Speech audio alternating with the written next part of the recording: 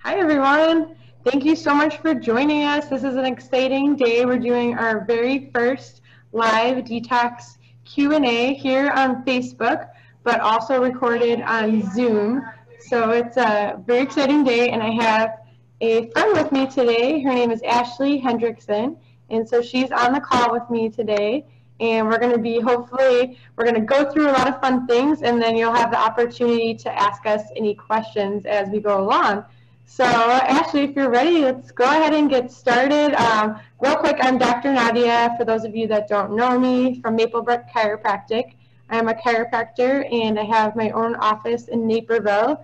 And I've been in love with these uh, detox, 14-day uh, detoxes that I have my patients do. And so I want to share with you guys today more about that. And it's going to be exciting. You know, the quarantine's been a rough time for a lot of us. So it's a great way for you to kind of get yourself back on track. So uh, I'm going to introduce Ashley and have her talk a little bit about how she kind of got involved with a wonderful company that I work with and also just what led her into uh, doing functional medicine. So Ashley, go ahead and introduce yourself. Hi, thanks for being here today and thank you Dr. Nadia for having me. Uh, my name is Ashley Hendrickson. I am a health educator for Designs for Health, which is the company that uh, supplies Dr. Nadia with the detox programs she's talking about. I've been with them for just over a year. Uh, prior to that, I worked for a functional medicine MD as his functional diagnostic nutrition practitioner, and I'm also a national board certified functional medicine health coach.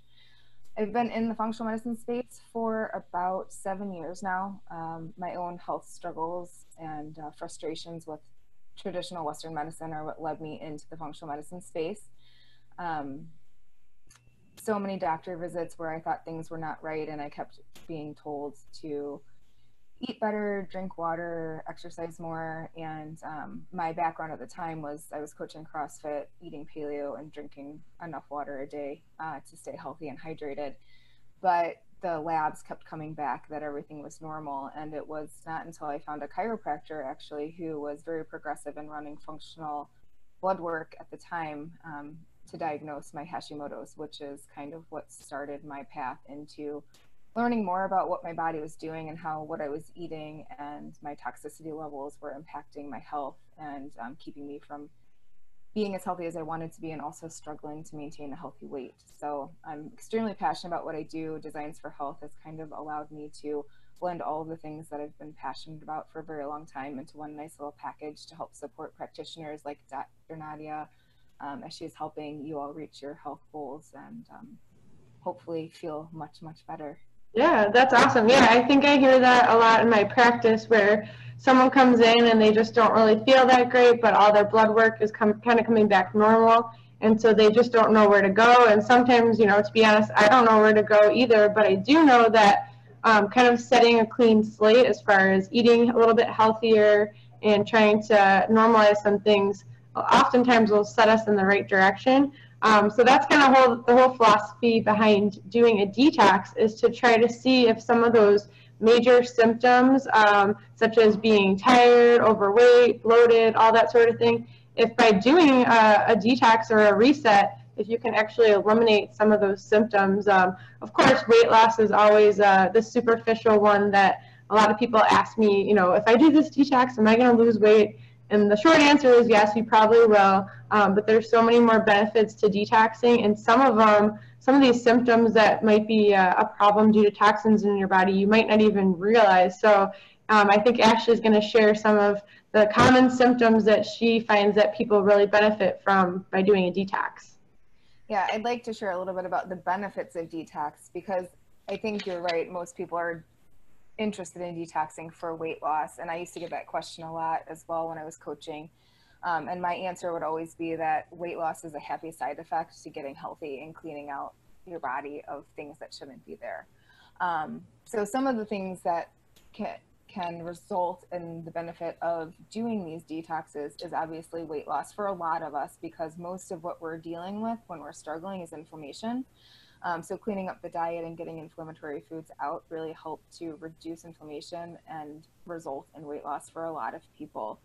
Um, it also really will help to improve energy levels. Again, that inflammation tends to lead to fatigue for a lot of folks.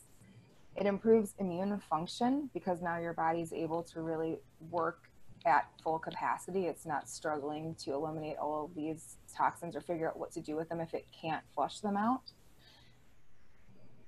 The detox will also help with mental focus and clarity. So a lot of times people will come in and say like I'm feeling forgetful or I have something that maybe feels like brain fog. Again, I'm going to point back to inflammation and most of the time inflammation is a result of our diet and foods that are inflammatory or reactive for us individually. So detox is a nice way to kind of remove those foods, reduce the inflammation, and as a result have more improved um, mental clarity. It will also aid just in the general function of all of our internal organs that are responsible for detoxification, like our kid- kidneys and liver. Um, when those aren't overburdened with these extra toxic chemicals or food products or inflammatory foods, they're able to do their job a little bit better. Um, obviously, will help clear up skin. Uh, two of the biggest, I would say, uh, culprits of acne or any type of skin issue like rosacea or hives a lot of times is going to be dairy and gluten. Um, it can also be other food sensitivities, but those seem to be two of the biggest culprits for most people. I actually had a patient just email me today. She just finished the detox, and she said the biggest thing for her was she knows her skin was yeah. a lot better. So, yeah, for a lot of people, for a lot of us women trying to have better skin, we try all these beauty products but what we don't realize is sometimes just cleaning up our diet can be uh, one of the biggest beauty secrets. Absolutely. And getting all the nutrients that we need really allows our skin to look healthy and glow and all the things that we're trying to achieve with whatever creams and things that we're using topically. Um, well, also, probably important for a lot of your patient base, this can help reduce joint pain. So again, we're pointing back to inflammation, but a lot of foods that cause inflammation can result in joint inflammation, which then is painful for a lot of folks. Um, improved sleep, which is a big thing for a lot of us, especially if there are other moms listening. Um, sleep is important. It's also very important for your body to work effectively in terms of its own detox capacity to have reduced stress and by removing the inflammatory foods and getting good sleep, you're eliminating two stressors on the internal systems. Helps reduce cravings. So when we get the sugar and the carbohydrates out of our diet that our body has kind of become dependent on, we see usually about halfway through that the cravings have kind of dissipated and people are not dealing with those issues anymore. Um, also helps with the digestive function. So you'd mentioned before kind of bloating being, being an issue um, whether it's constipation, diarrhea, bloating, um, gas, a lot of times we'll find that removing these inflammatory foods and cleaning up the diet will help with both bloating and just digestion overall. Yeah, that's awesome. Yeah, from personal experience, I've done the detox uh, probably about, I don't know, maybe about 10 times. And I noticed each time, you know, obviously there's a, usually a few pounds lost. Not always for me, but uh, for my husband, he always gets, you know, 10 pounds lost pretty easy, which is always true. Um, but one of the, I guess it's like slightly embarrassing, but the bad breath thing. Like I always feel like my breath is so much fresher after doing a 14 day detox. Obviously, for one, I drink coffee a lot, so don't have coffee breath. But you know, you're just you're not putting so many acidic things and obviously things that your body just doesn't always know what to do with. And so that really helps me. I always feel uh, my brain is functioning better, less bloated, um, and a lot more energy. You know, even without coffee, I have so much more energy once I, I get going with my smoothies and eating lots of great fruits and vegetables. So you, you won't miss the caffeine. Um, the sugar, you know, it's an addiction just like anything else. So once you get past it, you know, you'll be feeling so much better. So um, I think, uh, you know, all of you will notice at least one, if not multiple symptoms will definitely get better after doing a detox for sure. I would agree. And also, just on the coffee piece, if there are other coffee drinkers out there, I am a coffee lover. It's the hardest thing for me to give up, but I've had to do it multiple times. And I'm in a coffee break again right now. Um, it's important to wean off of that slowly uh, I don't know if you've ever tried to give up coffee before, but it can result in a pretty nasty headache if you're caffeine dependent. Um, typically, the way that I would coach around that is to have people start the first couple of days, like a week prior to starting the detox, to wean off that caffeine. So you're going to titrate down slowly using about three quarters of regular, a quarter decaf for a couple of days, then half and half, then a quarter regular, three quarters decaf, and then a couple of days of just decaf because that will have trace amounts of caffeine. And then you can switch over to some type of herbal tea um, to get you through the detox period. But that's an important thing to kind of catch ahead of time because that can make it pretty miserable if you just kind of go cold turkey. Yes, it can give you some pretty nasty headaches, but if you do it the right way, you know, you'll avoid some of that uh, pain from all those headaches. So that's great. Another thing people ask me is, um, you know, am I going to have to be running to the bathroom all the time? They are worried that how it's going to affect their stomach. And I think with uh, the product line we use, you know, it's not meant to be anything harsh. It's not like you're going to uh, a vitamin shop and just buying some, you know, detox pills to where it's going to flush everything out. That's not what we're trying to do. Um, so, you know, if anything, you might be having to run to the bathroom to, to go number one just because you're going to be drinking so much water. And obviously, fruits and vegetables, which are going to have a lot of water in there as well. Um, but I really can't say I've had, out of all the customers I've had do a detox, they didn't ever usually report that they had any trouble um, with their stomach being upset or having to go to the bathroom in that sense. So um, from almost everyone has not had any symptoms with that. So I think as long as you're kind of following everything, you should be fine as far as that goes. And you know, most of it's happening. Um, your liver and your kidneys. We're kind of pushing our body into that phase two of uh, detoxification. So it's a it's a great place to, to have your body back in because a lot of times we're just our bodies are overwhelmed and they can't keep up. And so a lot of those toxins just get stored in our in our fat cells. Absolutely. And i would say too like this is not designed to be like a colon cleanse which i think a lot of people confuse detox and and flushing and colon cleanses and things like that. This is like a whole body system detox. So it's really working to like i said remove those inflammatory foods and then support the detoxification systems in the body. So they shouldn't find themselves with any real significant GI upset because of this program. Um, I would think that they would be going number one a lot more. One, just because that's how we a lot of times get rid of inflammation. It's water that we're holding, and so that's going to flush out. Um, so that potentially will happen to most people, but otherwise, I think GI symptoms they should be fine and see actually quite an improvement. Yeah. So what do you think, Ashley? Should we dive into a little bit of how the program works and um, what it would look like for a typical day and what you can and can't have? And I'll kind of explain to you guys. So um, when you do this 14-day program, what you do is you actually have two shakes a day, and those shakes are going to include a scoop of protein powder and a scoop of cleanse powder. And you're also going to be taking some detox pills and a digestive enzyme, which will help you to break down what you are getting out of these uh, shakes. And then you're going to have one meal a day as well. So you can mix it and match it however you want. Some people like the breakfast and lunch as their smoothie. Some people do lunch and dinner, breakfast and dinner. It doesn't really matter. Um, it's all based on kind of your preference. And then um, there's also a whole wonderful list that they've put together for you that goes over what your optimal food choices are. Um, so when you, if you did get this program, it comes with a booklet and it has kind of everything mapped out for you on this little booklet. And so, for example, you're able to have protein, you can have chicken, fish, um, scallops, turkey, anything that's organic, free range, wild caught, along those lines. Um, there's a bunch of veggie options. Some are better than others to help you kind of get into that detoxification um, as well as you can have beans, fruits, and of course uh, everything's going to be kind of gluten-free as far as grains and flour go.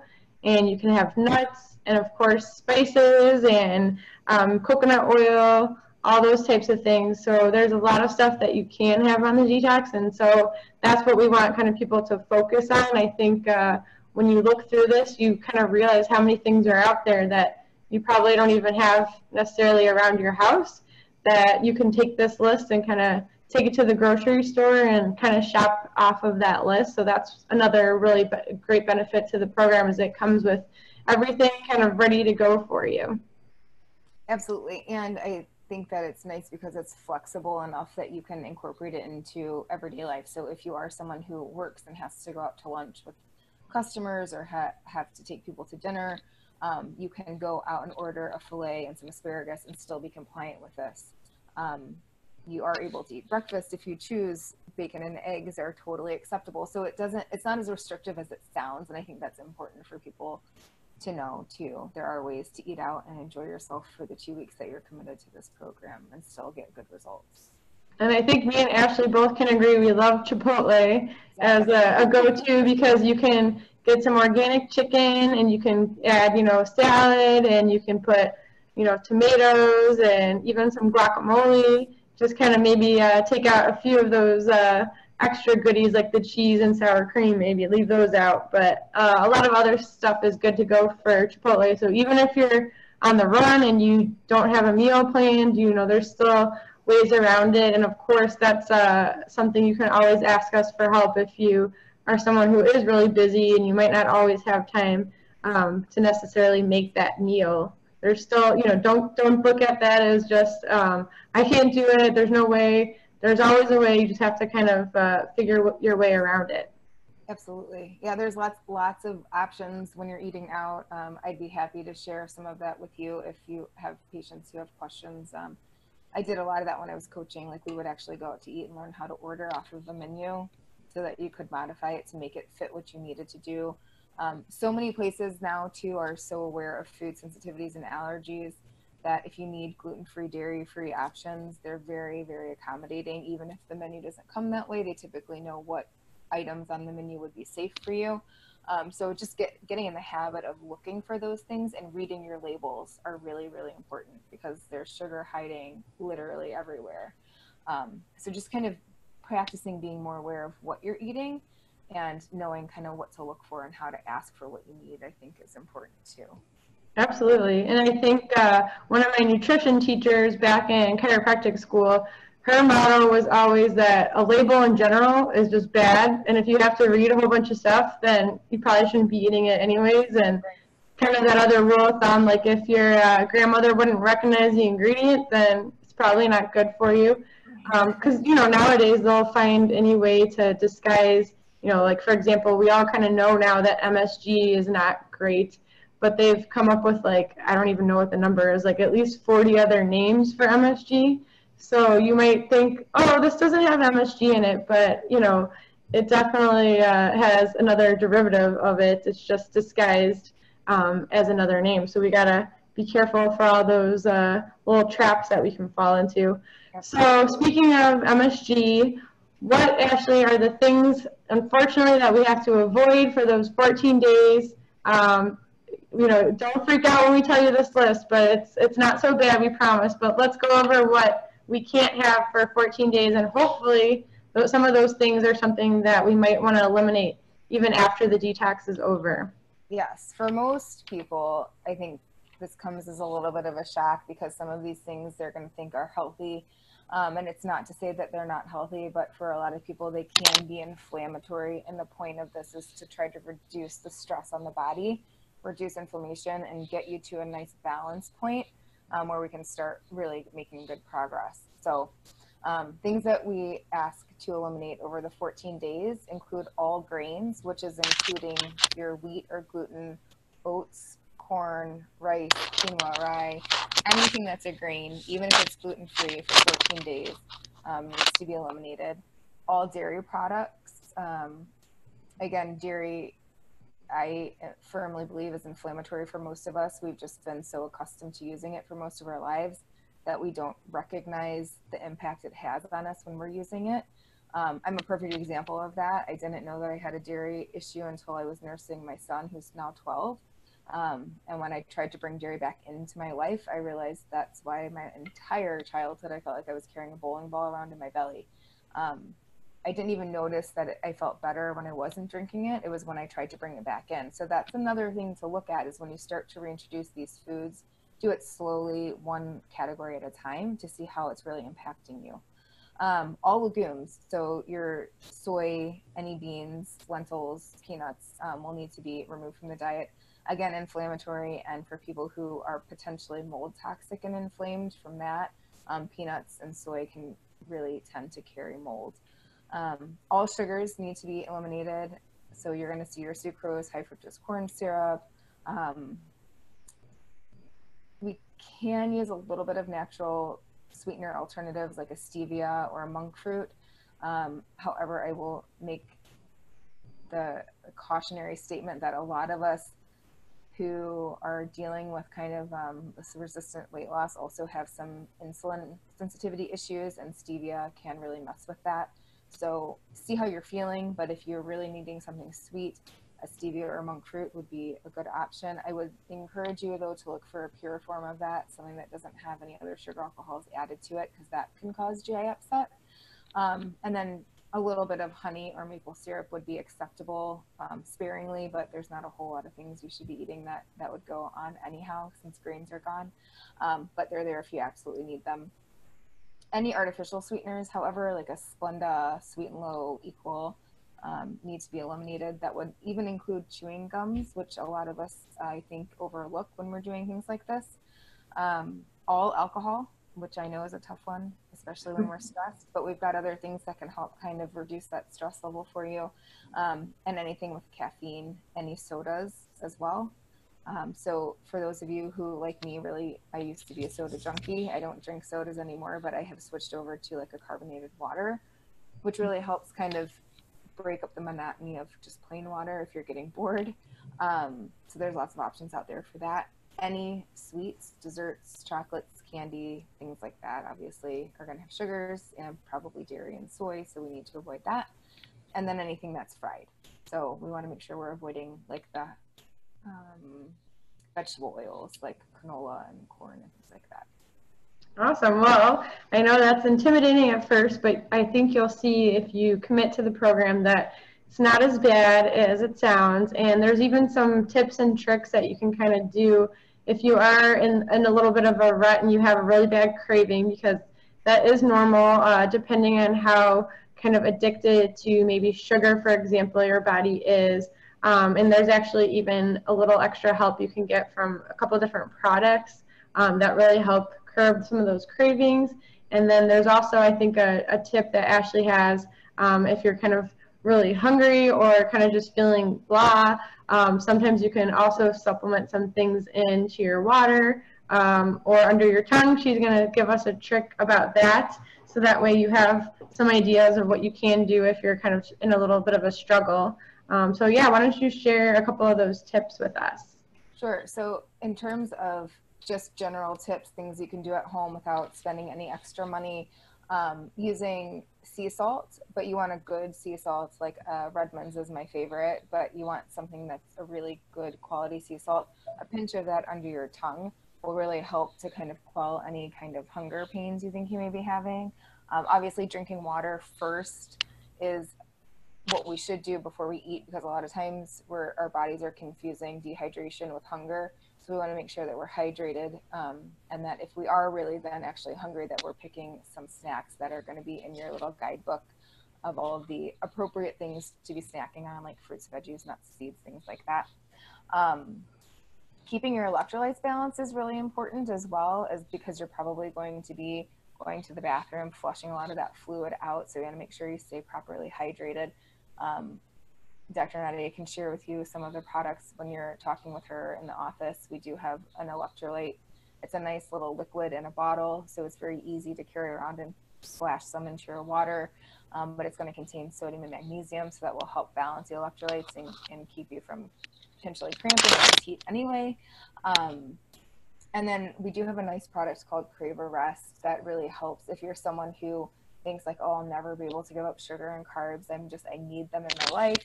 Um, this product really helps to address those types of carb dependency cravings and sugar cravings at the beginning of this program um, because the first probably seven days are going to be the hardest as your body starts to readjust to not getting what it's used to, to seeing most of the time. Yeah, I think for me, when I'm doing a detox, I really rely on like a little handful of nuts or some almond butter. Um, that usually kind of hits the spot. Um, you can also just do like fruit or like a little bit of avocado with a little sea salt on it. Um, usually that kind of fills you up and kind of sets something off in your brain to where you kind of, you know, fulfill that little bit of hunger that you might be having.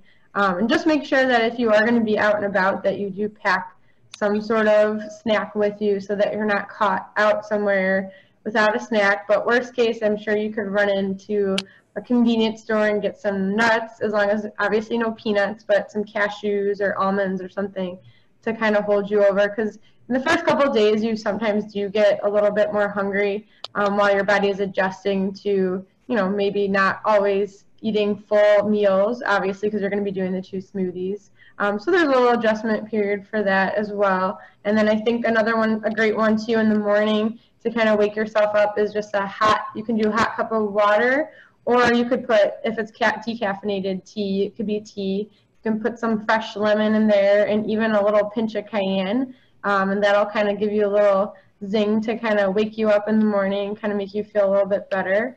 Um, so that's another little trick. Um, there's also some other kind of detox tips if you want to kind of really get into it. You can even do something called dry brushing, which is where um, you kind of do this before you get into the shower and you do like kind of circular type motions. Um, some people actually have, I think, like an actual dry brush.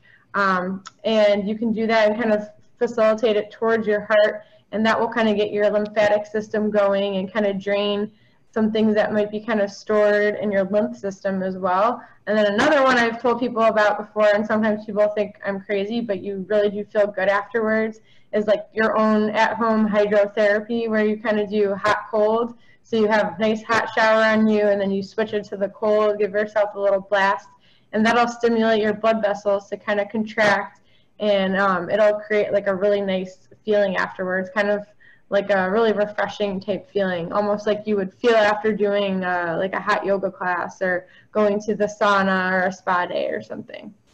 Yeah, and that also benefits your immune system and aids in weight loss. So there's a lot of benefits to doing that hot cold back and forth in the shower a couple of times, as uncomfortable as the cold can be for some of us. Um, and then for myself personally, when I've had to go on these elimination diets and felt very sugar craving um, having a hard time getting off of the sugars, I just tend to eat a lot of fruit. So my favorites would be like apples and pineapple because those seem to be kind of on the sweeter side. And that would really help kind of kill my sweet tooth and get me through the first couple of days. And then I would notice it taper back off a little bit where I wouldn't feel that I needed it so much. Um, but don't forget you can eat the fruit. So yes, you, fruit is not off limits. It's just a matter of if you are trying to do it more so to balance your blood sugar, then you just want to watch out for which fruits are highest um, as far as glycemic index, which is why I think in this uh, program, like if you uh, look at the page with the fruits, you might not see like bananas on there um, just because those are higher in sugar. But I'm not sure how your feelings are, but I tell people sometimes like if you're not necessarily doing it to to balance um, blood sugar, you know, don't feel like you would be uh, cheating too bad by having like a little bit of banana mixed in with your smoothie. Yeah, um, it's still a fruit, so we don't have to get too crazy with it. Yeah, there's lots of, and you know, everyone's a little bit different. So some people might really need that extra carbohydrate to, to feel like they're satiated through the day. And so don't forget, you can throw some some fruits or veggies into your smoothie as well. You don't have to just drink it with water. Mm-hmm. Um, I find mine much more filling and satisfying if I do throw in like some frozen strawberries and blueberries. It makes it a little bit thicker and it feels like I'm drinking a milkshake. And I've learned to trick myself into really enjoying them actually. Um, so there's ways to kind of play around with this to make it work for you so that you don't feel like you're depriving yourself, which is the most important thing for staying compliant, I think. Yes, I do the same thing with some.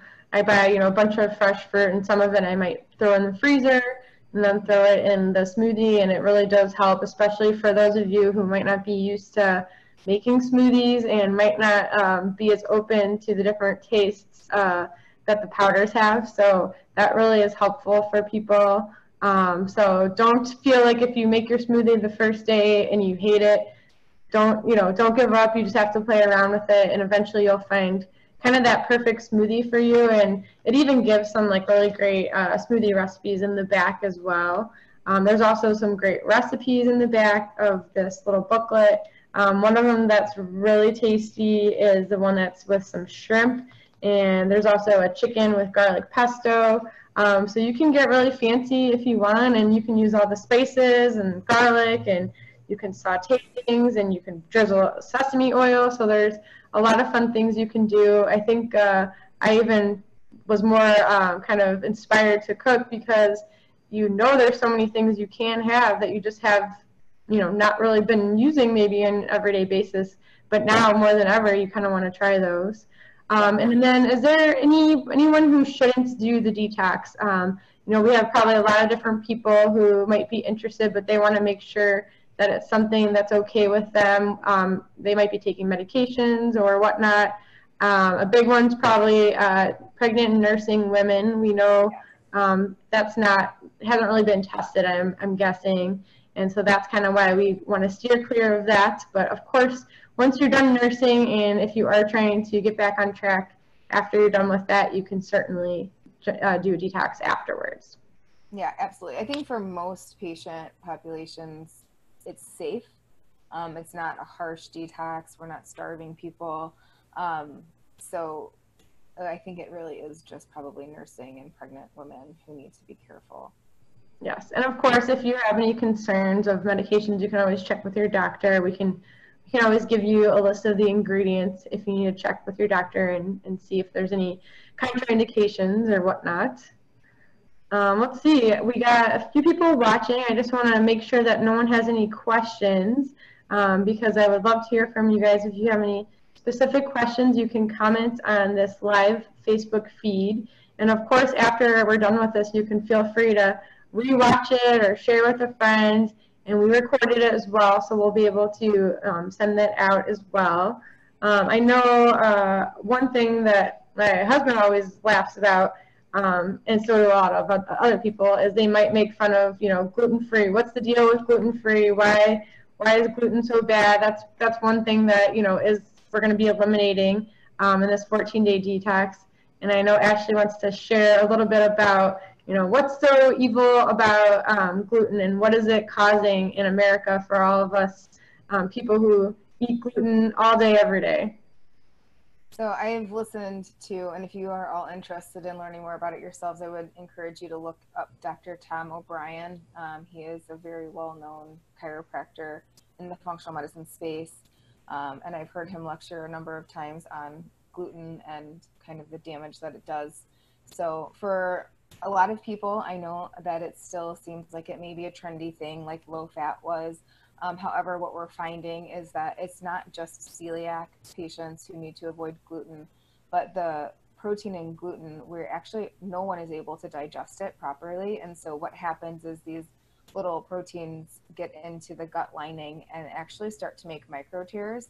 Now, our gut lining is only one epithelial cell thick, so it's a very fragile tissue. It's just one layer of skin, basically. And so when it gets those scratch marks, and it, it kind of turns it into like a cheesecloth with a tear. Um, and so what then happens is all of the foods that we're eating that potentially could be inflammatory for us are now able to leak into the bloodstream and they don't belong there. So what happens is the immune system then identifies these what they see as invaders in the bloodstream, like the same thing they would do when they see a virus pathogen, and they start to um, build antibodies against that food protein structure. So this is how we start to see people developing food sensitivities for all types of foods. Um, and it's because we have that consistent exposure to gluten. Um, some people are more susceptible to this and not able to heal as quickly. But if you, the analogy I like is if you if you would get a scratch on your hand, if you leave it alone for a couple of days, it'll probably heal up okay. But if you continue to pick at it, you're going to have a sore there for quite a while. And so we get this issue that we have with the gluten making micro tears in the intestinal wall at breakfast because we had toast and then we have maybe lunch with a sandwich and now we're having more tears so there's no time to heal and so we tend to see it compounding over years which is why it tends to show up as an issue for a lot of people like in our mid 30s for example we don't see tons of kids having this some but not as bad or we'll say how come i can't eat like i used to when i was a kid and it's because the years and years and years and years of this micro tearing in the intestine has now compounded and we aren't able to heal because we never give it a break. Um, so I'm not saying, you know, gluten is the devil by any means, but I do think that there is a good argument for everybody to eliminate it from their diet at least a majority of the time. Um, and you can always eliminate it for this period and then and then retest by um, the the standard that the Institute of Functional Medicine suggests is once the food has been out of your diet, ideally for a period of 21 days, you can start to reintroduce and see if it's causing inflammation for you. And you do that by then eating that particular food. So if you wanted to challenge gluten, for example, you would eat a whole wheat bread three times a day for two days in a row, and then wait the third and fourth day because food sensitivities can be very tricky. And sometimes it takes up to 72 hours for us to start to experience inflammation. So for me, it could be I get bloated immediately um, because that's my weak point. But for maybe Dr. Nadia, she experiences joint pain on day four. Um, and it's really hard to pinpoint which foods are doing that to you if you're kind of bringing them all back at once. But gluten is a major, major culprit. My personal experience with it is if I accidentally eat gluten, which I have, I've been gluten free for almost 10 years now, um, I will break out in cystic acne on my chin about three days after I've been exposed to it. Um, so that is where it shows up on me.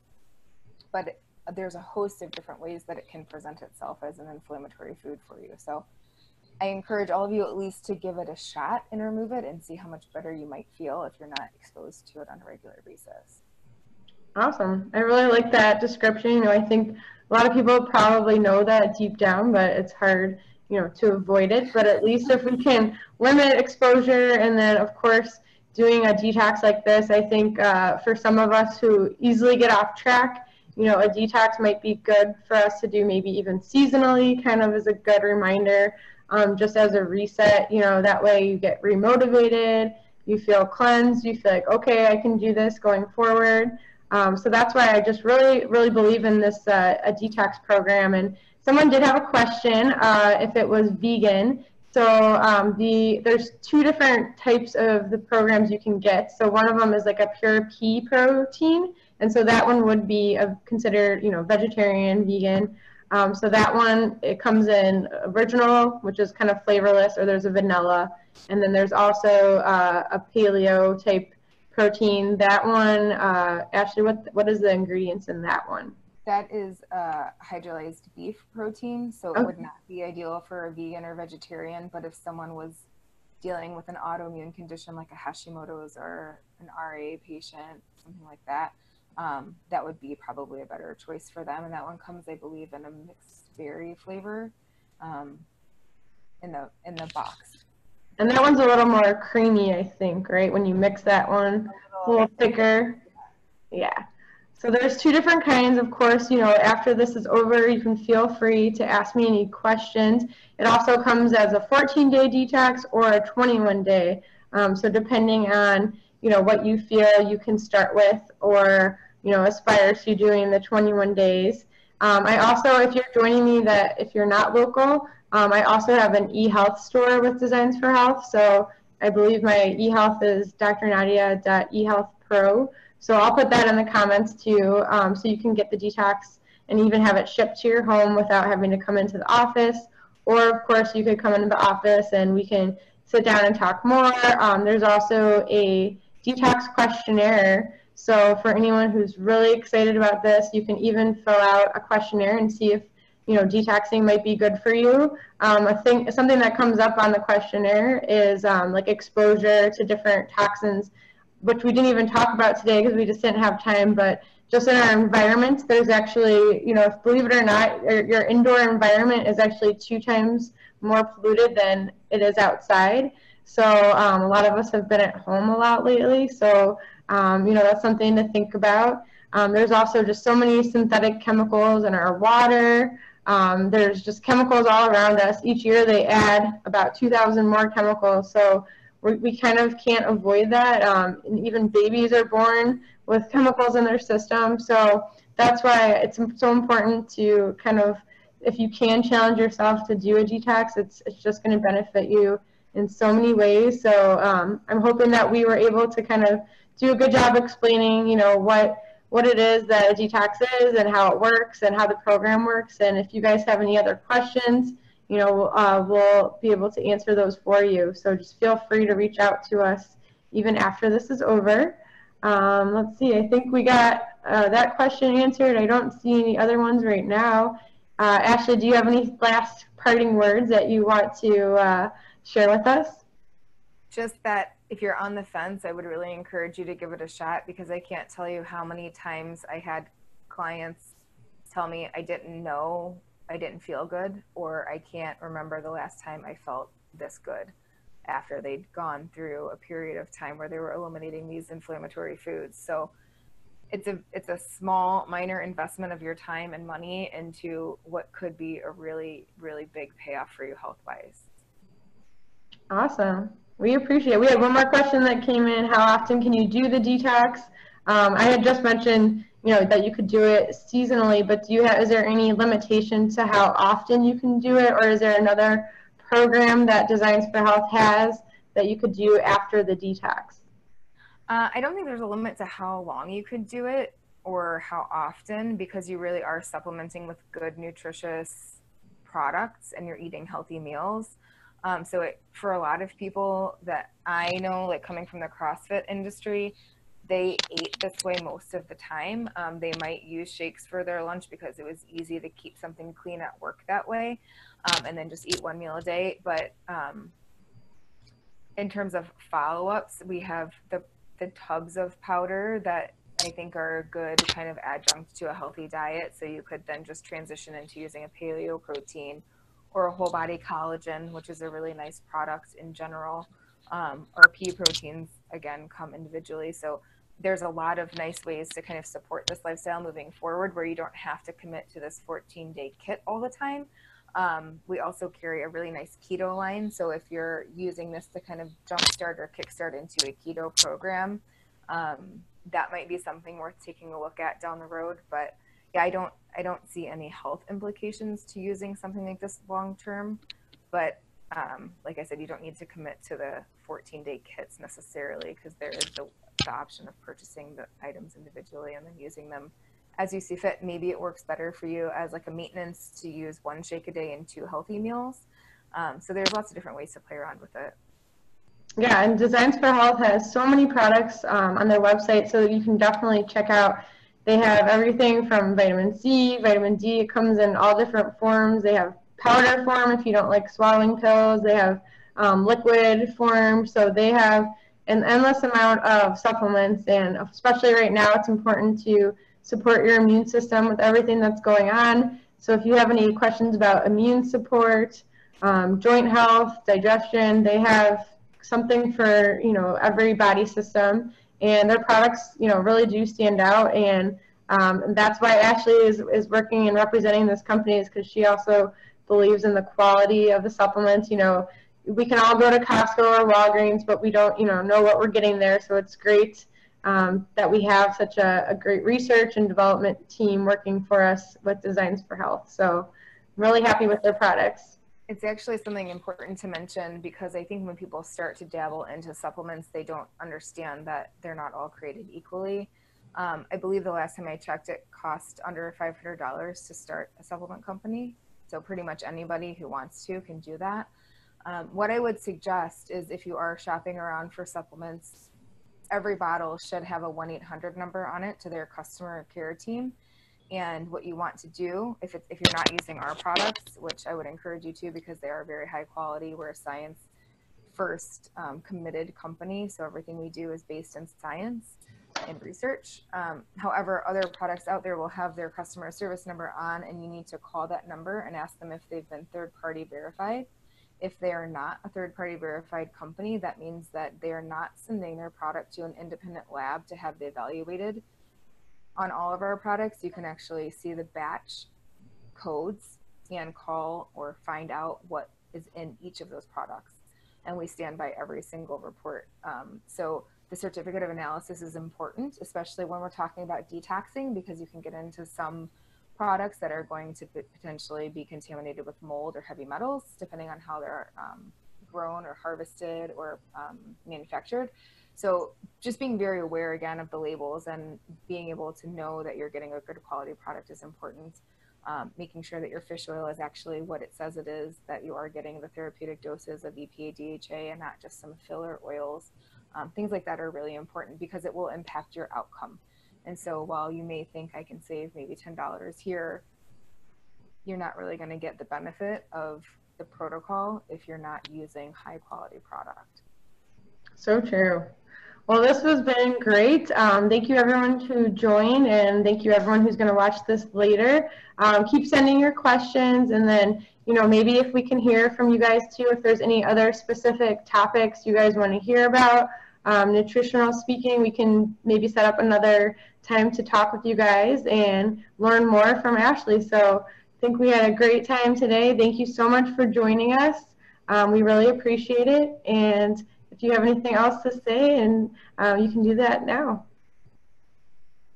Just thank you so much for including me in your um, detox kickoff. I'm excited for you and for all of your patients. If you have any questions or need anything or, or they reach out to you and, and you need some support, feel free to reach out. But I, I appreciate you all sitting with us and listening today and hopefully it was informative and you learned something and were motivated to give this a shot.